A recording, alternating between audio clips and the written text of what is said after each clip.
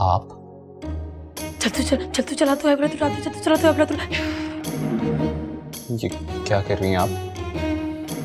आप मेरा पीछा कर रहे हैं? एक्सक्यूज मी देखिए मैं ना एक शरीफ लड़की हूँ और आप भी शक्ल से माकूल लगते हैं। मगर ये जो हरकतें आप कर रहे हैं ना ये कहीं से भी शराफत के जुमरे में नहीं आती। व्हाट माना कि मैंने आपसे उधार लिया है मगर इसका हरगिज ये मतलब नहीं है कि आप मेरा पीछा करेंगे अगर आपको यकीन नहीं है ना कि मैं आपके पैसे वापस नहीं करूँगी तो आप एक काम करें। ये मेरी अम्मी की निशानी, ये घड़ी आप रख लें, ताकि आपको यकीन आ जाए। और दे दूँगी मैं पैसे वापस। और खबरदार जो, मेरा पीछा किया स्टॉकर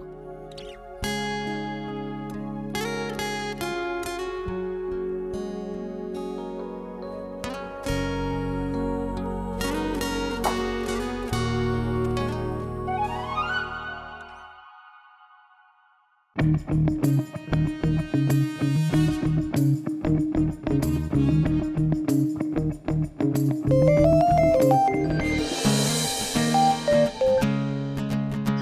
उम्मीद बोलो। हेलो हया एक बहुत बड़ा मसला हो गया है। अब क्या हुआ? अब किसे देख लिया? वो वही है। अभी मिलकर उससे बात करके आ रही हूँ मैं। क्या कह रहा था? कहा तो उसने कुछ नहीं है लेकिन मुझे उसके इरादे ना ठीक नहीं लग रहे।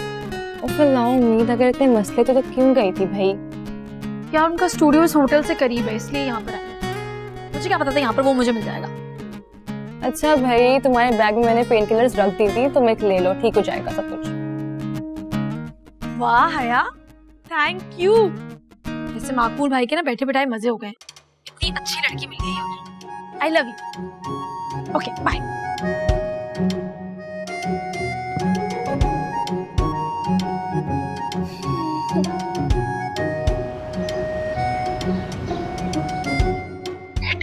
बात करें। करता हूँ बात तुम थोड़ा सा सब्र अरे कितना?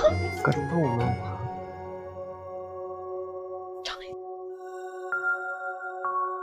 बाबा प्लीज़ ऑफ़िस में जाएगा आज। रात को आपकी तबीयत बिल्कुल खराब थी। बेटा आई टुक बिग पेन ये छोटा मोटा टेम्परेचर कुछ नहीं बिगाड़ सकता मेरा। पाशा साहब समीर ठीक कह रहा है आप आपको आराम करना चाहिए। नहीं नहीं। बाहर से टीम आई हुई है मेरा जाना ज़रूरी है। मतलब सारी ज़िंदगी आपने इसी दयानतदारी के साथ काम किया है क्या मिला आपको?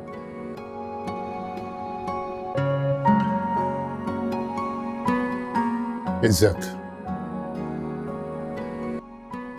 मेरे ऑफ़िस का हर सीनियर जूनियर बंदा जो है ना इज़्ज़त करता है। लेकिन आज मुझे पता चला कि औलाद को कुछ और ही चाहिए। बाबा please don't say this Pasha साहब साख लाख से अच्छी होती है। उम्मीद तो नादान है। बेटा तुम आज से ही आर्ट गैलरी जाना शुरू कर दो। मगर पाशा साहब आपने तो समीर को डॉक्टर बनाना था। इरादा बदल लिया आपने।